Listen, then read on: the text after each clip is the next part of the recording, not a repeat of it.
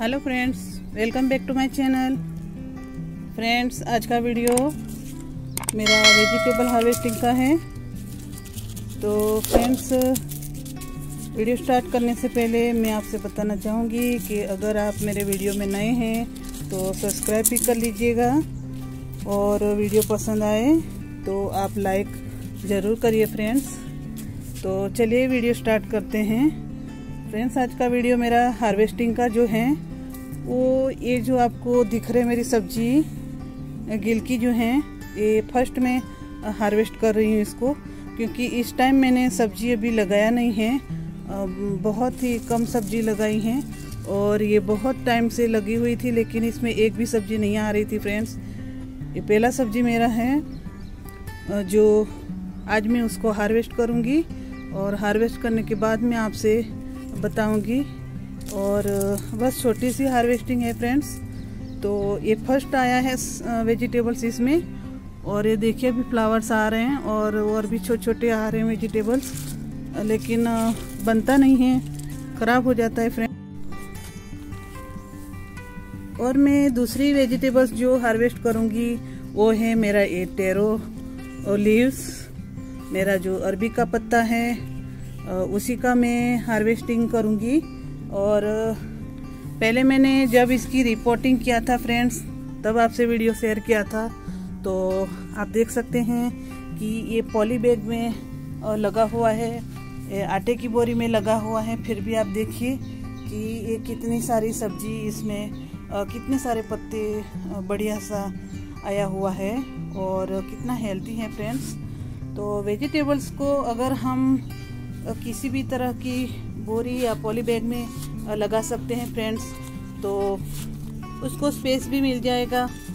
और सब्ज़ी हमारी जो है, वो हेल्दी होगी। इसकी साइज़ आप देख सकते हैं। पत्ते की साइज़ जो आप देख सकते हैं कि कितने बड़े बड़े मेरे पत्ते हुए हैं अरबी के। और ढेर सारे आए हैं फ्रेंड्स इसका रिपोर्टिंग करने के बाद जिस तरह से इसमें वेजिटेबल्स मतलब तीन गुना वेजिटेबल्स इसमें आ रहा है, जो कि पहले इतना नहीं आता था। तो आप देख सकते हैं मेरी ये अरबी के पत्ते, जो बहुत ही सारे आए हैं। मैं बीच बीच में इसको काटती रहती हूँ, फ्रेंड्स।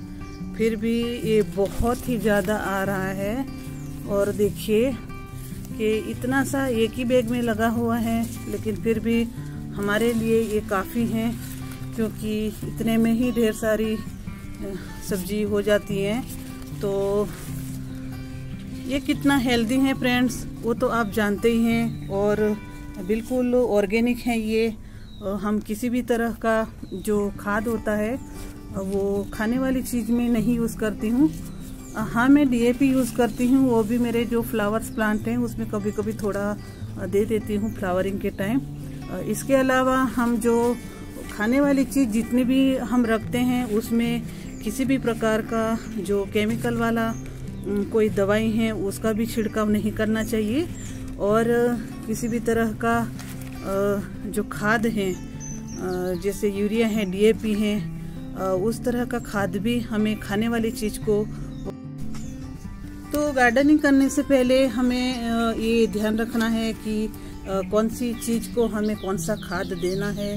और फ्लावर प्लांट को तो आप दे सकते हैं, किसी भी तरह का खाद तो कोई दिक्कत नहीं है, प्रॉब्लम नहीं है। लेकिन जितनी भी चीज़ हैं जिसको हम यूज़ करते हैं खाने के लिए तो उस टाइप की वेजिटेबल्स हो या कुछ जैसे पान के पत्ते हैं जिसको हम पूजा के लिए भी यूज़ करते हैं, खा भी सकते हैं। तो इस तरह की चीज़ को हमें अवॉइड करना चाहिए। खाद, यूरिया खाद देने से क्योंकि फिर कोई फ़ायदा नहीं रहेगा कि हम बाहर का और हमारे खुद की जो वेजिटेबल्स हम उगाते हैं उसमें और उसमें कोई डिफरेंस नहीं रहेगा फ्रेंड्स तो हमें केमिकल वाला जो खाद हैं, जो दवाइयाँ हैं उस चीज़ को नहीं देना है गार्डन में यूज़ नहीं करना है.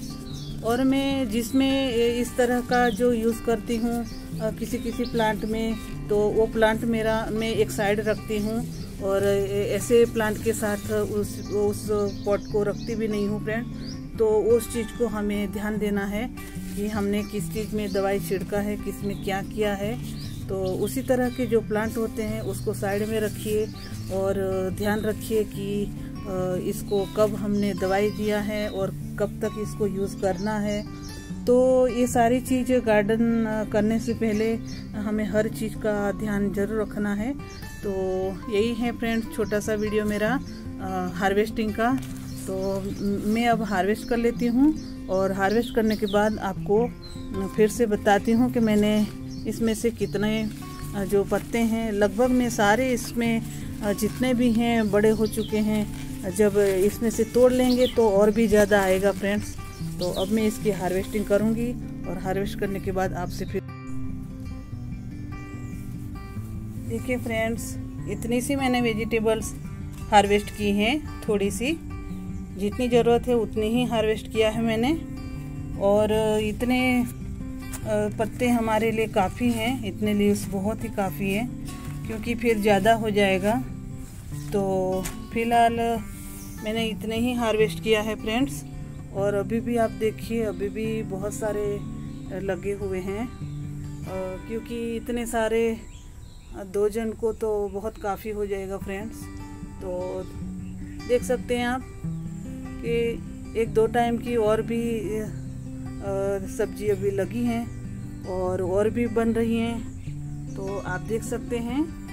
तो इस तरह से आप अगर अपने गार्डन में ऑर्गेनिक सब्ज़ी, छोटी से छोटी बैगों में भी लगा के रखते हैं तो हमें काफ़ी फ़ायदा होता है फ्रेंड तो चलिए वीडियो एंड तक ज़रूर देखिएगा और लाइक भी कर दीजिएगा. नए हैं तो सब्सक्राइब भी कर दीजिएगा. चलिए मिलते हैं अगले वीडियो में, तब तक के लिए